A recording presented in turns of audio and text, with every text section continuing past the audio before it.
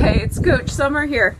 And it's heading into the weekend. I just got thinking about how many individuals tell me they struggle with their fitness and nutrition when it comes to the weekend, that they've made so much progress and then suddenly Monday comes around and they're like, oh my gosh, the weekend just derailed my whole progress. So I wanted to share a few tips with you as we're heading into the weekend, or if you watch this later to prepare for the next weekend or recovering from a weekend, on some fitness and nutrition tips to keep you on track so that you don't derail all the progress you've made during the week. So, one thing is to just set some rules for the weekend that you do for the week, okay? And just treat the weekend days the same as you do Monday through Friday. So, if you're really successful Monday through Friday, then we need to change our mindset to do the exact same things on the weekend. So that might mean getting up at the same, you know, time each day and going to bed at the same time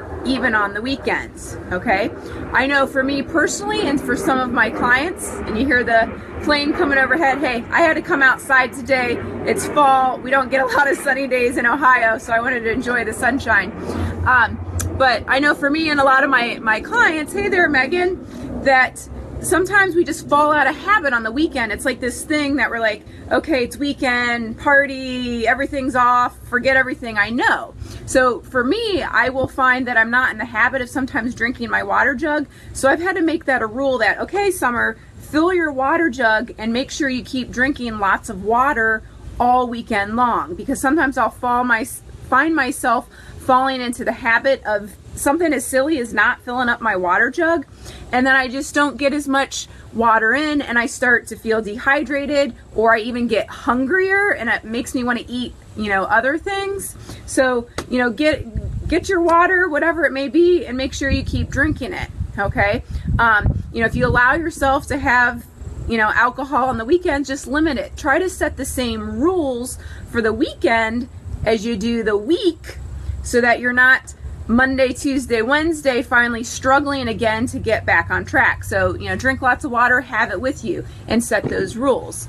Um, food wise, some of us, you know, we want to, you know, enjoy other things. And like I said, we have that mentality. It's like, oh, it's the weekend, I'm going to eat whatever I want. So, again, you got to tell yourself it's just another day on the weekend, set the same rules. So, I like to keep on hand all the time little you know simple things that I can grab if I'm on the go okay? So like here's here's my peppers here um, sugar snap peas are another fun little snack and my whole family loves these too. Um, the bagged vegetables and hey if you need dip use dip. Just use something that's not got a lot of sugar or a lot of unhealthy fat. So avocados mash those up make a dip um, Bolthouse dressings are great. So, you know, I like to have a lot of veggies on hand to snack because I know I'm a snacker. And so if you're a snacker, make sure you have those foods available. Um, pistachios are a nice little snack to have with you too. So if you're on the go, like I did this the other day, I hopped in the car and I had some sugar snap peas and pistachios because I know they can stay in the car. It's not going to hurt them. And so I've got some healthy fats and protein along with my vegetables ready to go. So, you know, just be prepared.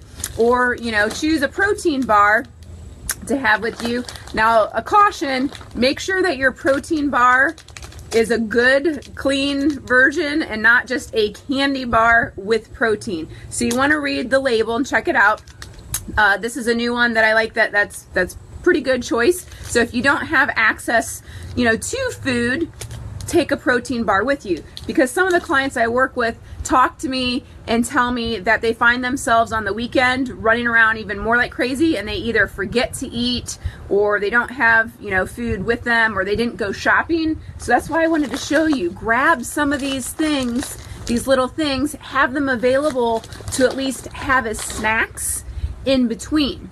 Because again, I want you to try to think of and have the mindset that, you know, Friday night, Saturday, Sunday are no week no different on the weekend for the same rules that you set during the week.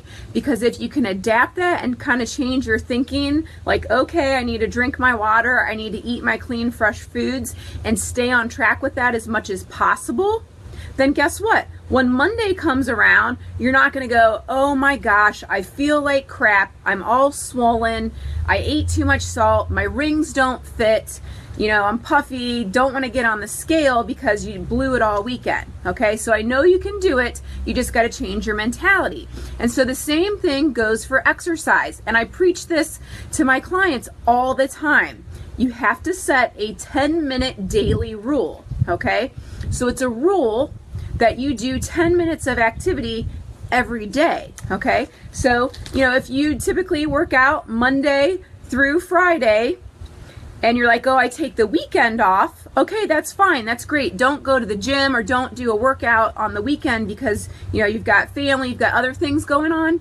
But do 10 minutes, okay? Do 10 minutes. Now, going for walks are great. We go for hikes on Sundays. That's like our, our family thing, especially in the fall when, it, when it's nice like this out. But, you know, if, if you sit on the couch and you don't get up and get active, guess what's happening? Makes it a lot harder on Monday to get going. So you want to keep the momentum going. So by doing 10 minutes, it primes your mind and your body to hit the gym on Monday or to hit your workout on Monday and keep going instead of Monday feeling like, oh, I feel like crap and I can't get going. Does that make sense? So instead of taking Saturday and Sunday completely off, set a 10 minute rule.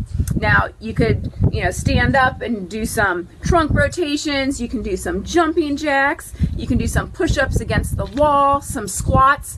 It doesn't matter. But when you do that 10 minutes of activity, it sends all kinds of hormones and endorphins throughout your body, feel good hormones that makes you say, okay, I can do this. And so that way you're not going to be sluggish come Monday. Okay? Is this, this making sense? It's pretty simple stuff. If you can just implement this on Saturday and Sunday and keep going, because uh, like I said, most of the people I work with, most of the clients I work with, and I've been there too, struggle with the weekends, okay? So, you know, all the rules aren't off on the weekend. Absolutely enjoy your weekend. Have fun. And if this is sounding familiar to you, get, give me a like here and let me know. The weekends, though, we don't need to throw everything out the window. Okay, so just adapt those small little steps. So, again, having fresh foods available with you, different snacks. Make sure you're drinking lots of water if that's something you do during the week already. And if you don't, start doing it. Have it available to you, okay? And apply that rule that you have to do 10 minutes of activity. Don't sit on the couch to rest and recover from the week or to recover from your workouts from that matter. Because you know what happens? When you sit, you just get stiffer and it's harder to get going. So we want you to keep that momentum.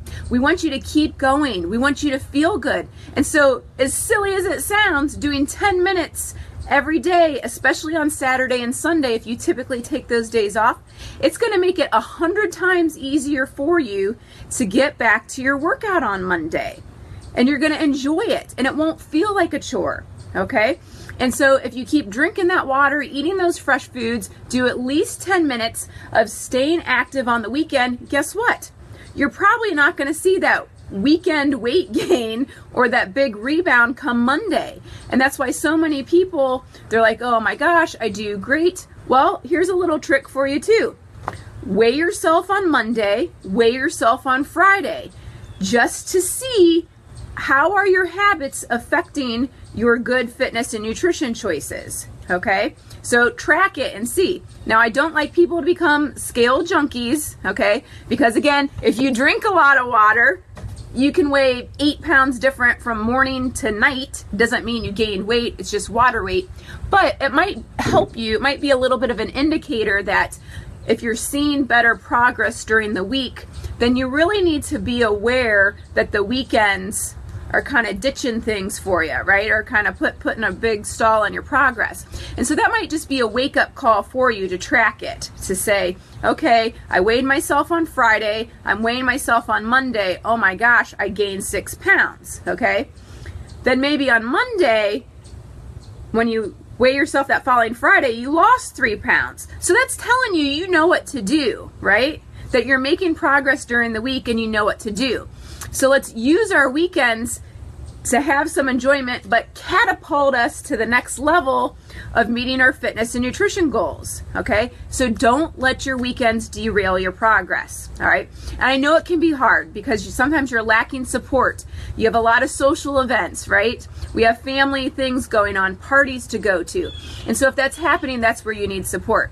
So if there's any way that I can help you, send me a message. Send me a message. I'll even post a couple things in the links below in the comments below that you know I, I, want you to get more active. I want you to feel good. I want you to enjoy your life. I want you to create the body and the life of your dreams.